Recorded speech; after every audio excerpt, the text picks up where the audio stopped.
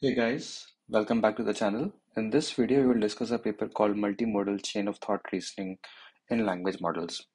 So large language models have shown impressive performance on reasoning by chain of thought prompting. However, existing chain of thought studies have primarily focused on language model. Now in this paper, they are proposing a new method called multimodal chain of thought that incorporates language and vision inputs into two modalities into a two-stage framework that separates rational generation and answer inference. So essentially the idea is that when you're prompting the language model, you're prompting it with a question and you're prompting it with the vision input as shown in this figure. So for example, in this figure, they have shown an example where they are prompting the language model with a question, but along with the question, they are also inputting the vision input over here. And this vision input goes along with the question and some context to provide the final answer. And the way this whole system works is that the uh, that the model first of all generates a rational, that what is the rational for answering this question before generating the final uh, answer. And in this paper, they have shown that how this rational generation process is actually improving the performance on the answer generation as well, which is very interesting. Uh, they have also shown that this whole system is performing uh, slightly better than the previous large language model input by around 20% margin, which is huge improvement uh, in terms of the overall performance on the science QA dataset. So uh, so this whole process of using the language input along with the vision input comes from the way humans uh, absorb information, right? So when we essentially like when we read books, right? So in a lot of books, we also have images and text contains contained together in the books.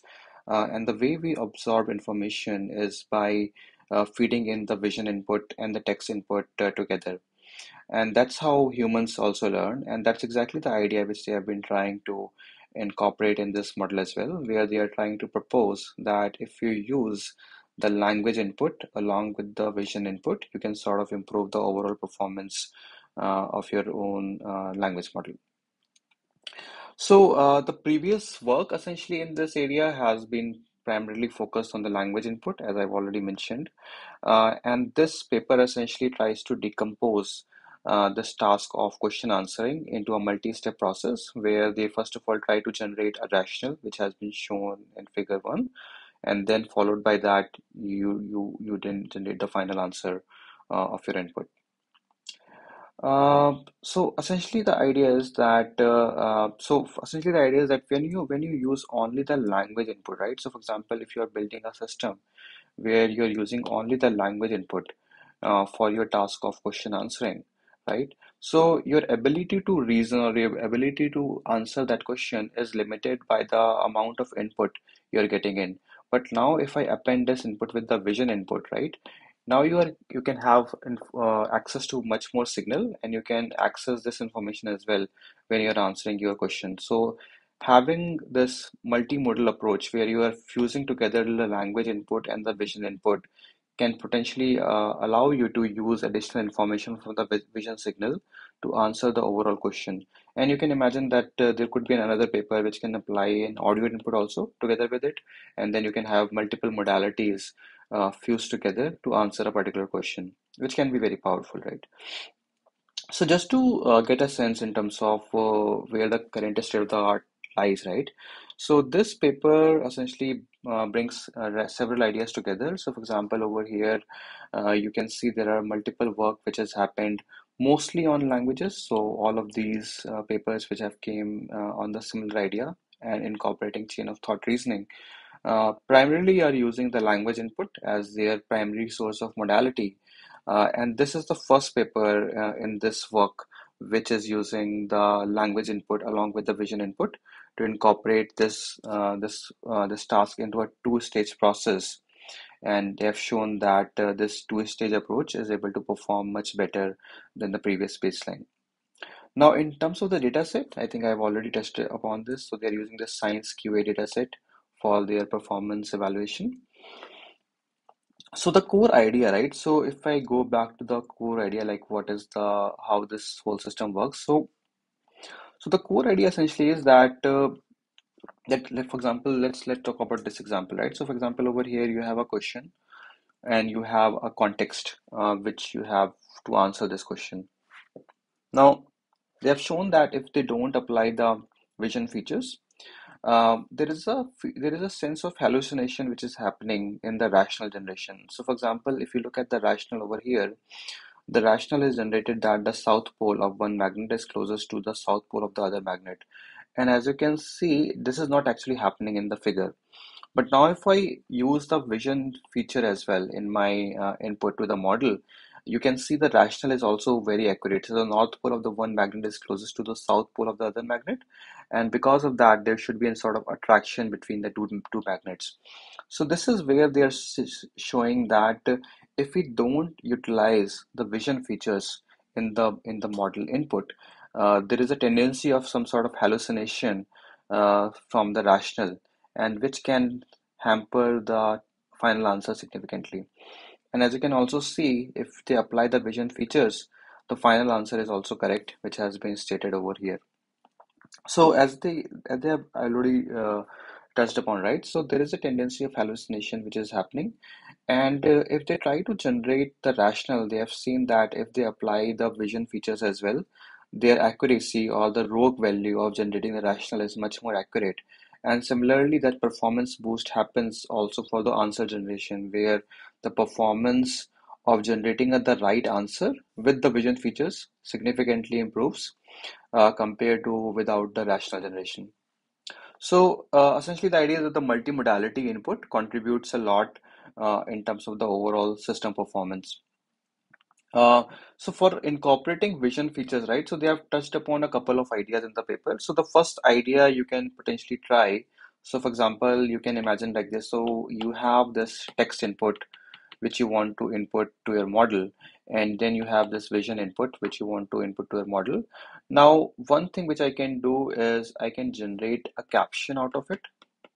So I can maybe use another model which can generate a caption out of it, and I can use that caption to the input to the to the to my large language model as an input. So that could be one thing which we can do. But the problem here is right that this is an another model which we are adding to the whole pipeline. And this model itself can have its own sort of error percentages right? So for example let's say if this error is making 20% error on the caption generation task that 20% error will have an impact on your final model as well now, instead of that, right, we can use some advanced models which have been proposed lately. So things like CLIP, etc., where we can, instead of using a caption, we can just generate an embedding from the vision input and use the embedding as an input to move a final language model. And that could be that could be a very nice idea where instead of passing this input to a secondary model i can just directly pass my input to the embedding layer and then use the embedding directly to my uh, to my uh, language model. Now that's exactly what they are doing here. So for example uh, so this figure essentially tries to tell like what exactly is the pipeline. So for example, over here you are have the vision input, you have the language input. So the first task is the rational generation. So where they generate a rational for the task and then this uh, rational along with the vision features get fed together to the model and then the final answer is generated. So if you look at the uh, final pipeline, right? So this is how the pipeline looks like, right? So you have the vision input and the language input. Uh, so the vision input gets fed into a vision transformer or some sort of like an embedding layer, and you generate some vision features out of it. And then those vision features get combined with the language features. And we feed these to our language model and we generate a context. So we feed these two input together into the language model and we generate a rational and once the rational has been generated, we combine this input together with my rational to generate my final answer. So this is how the whole pipeline works.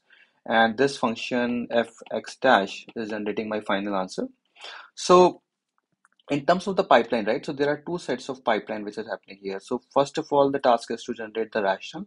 And the second task is to take the input, combine it with the rational and generate the final answer. So uh, that's the whole architecture. And in terms of the uh, algorithm, right? So that, that they have demonstrated the algorithm over here that you have the language features and the vision features. The first task is to generate a rational as described here. And once the rational has been generated, you can combine the rational with the language input again and then feed it back to the model. to generate the final outcome, which is the answer. Uh, and they have des described like what ex- exactly they are doing over here. So, for example, initially they are taking the language input, which is the language question and the context. Uh, they are taking the vision feature, which could be the image or a set of images.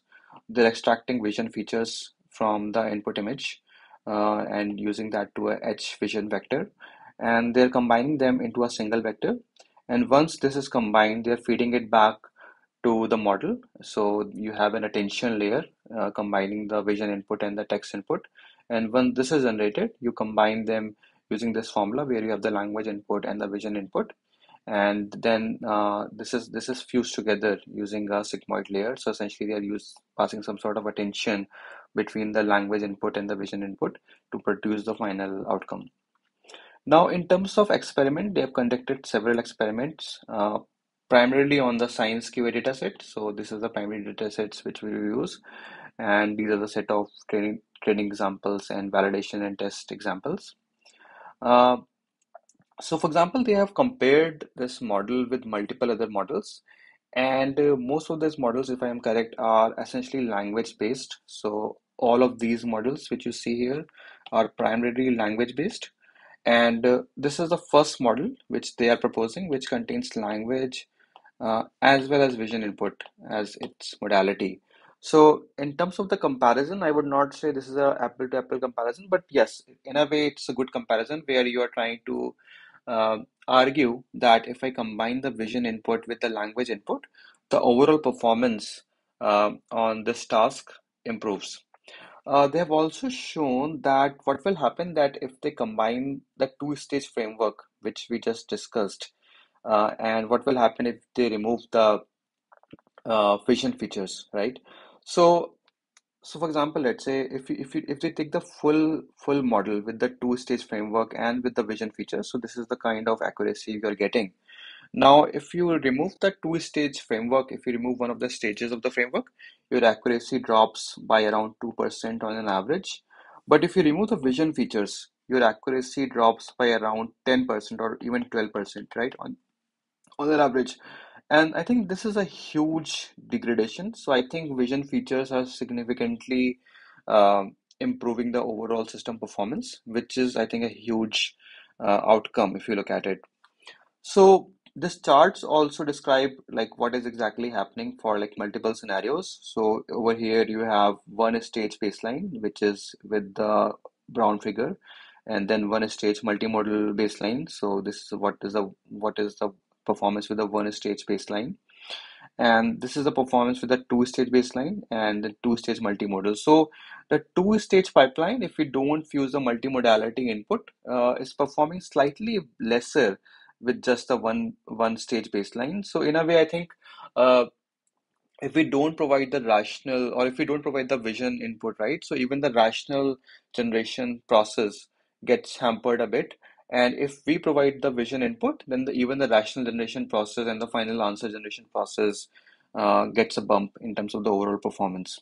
So that's a that's a, uh nice outcome over here.